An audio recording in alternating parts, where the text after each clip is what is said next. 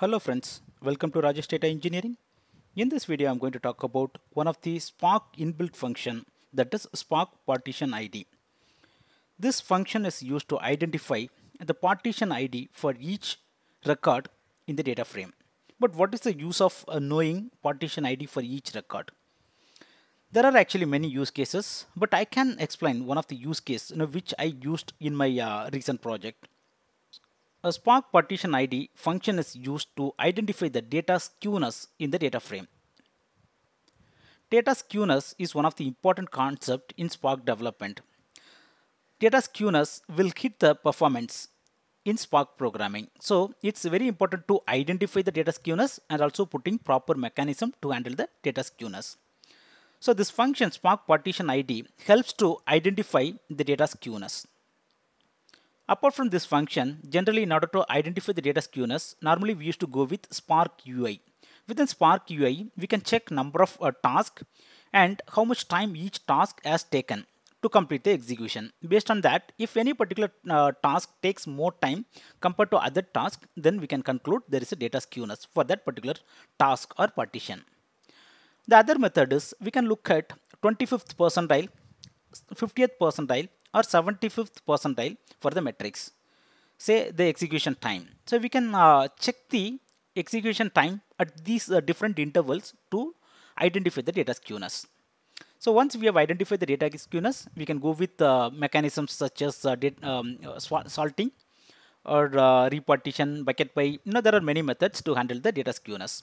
We can go with one of the method. So in this method, I'm going to tell you how to identify data skewness in Spark um, uh, program using Spark partition ID function. So this can be done within a coding uh, environment. No need to go to Spark UI. Let's get started with the demo. This is the uh, notebook I have created. Uh, my cluster is up and running. So uh, to start with this demo, first I'm going to create one of the base data frame. So in this data frame, I'm going to read one of the CSV file. So let me execute this one and display the data.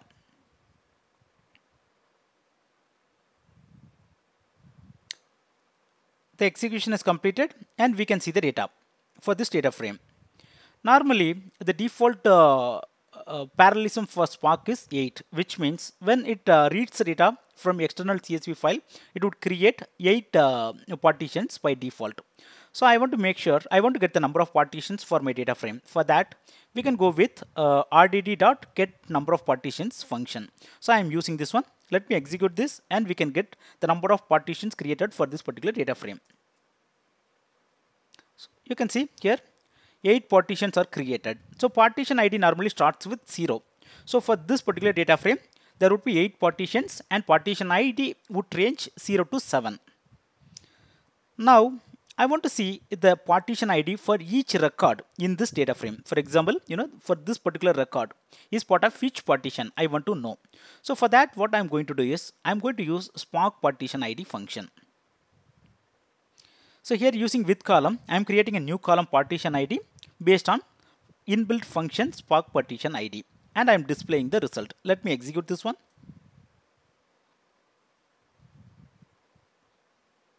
Here you can see the data frame is containing partition ID column which is having partition ID. So basically there are 8 partition in this uh, data frame. So the partition ID would range 0 to 7. So here you can see that. Now here we can see 7. So for example, if I want to know the partition of this particular record, then now easily I can identify this is part of the 8th partition and that is partition ID 7. So here, you know, by default, it has created 8 partitions. Now, programmatically, I want to change uh, the number of partitions to 20 using repartition programming. Let's uh, see this one. Let me execute.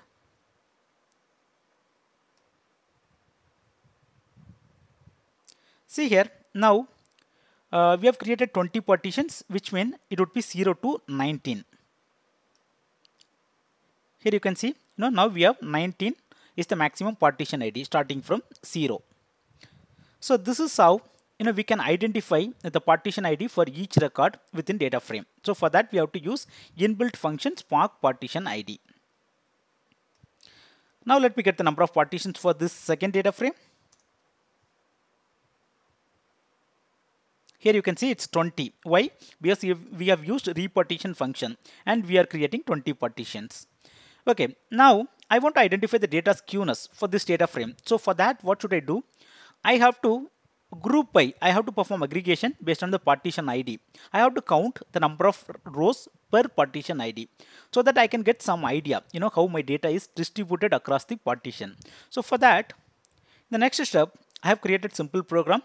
So in my uh, second data frame, I'm doing group by partition ID and I'm getting count.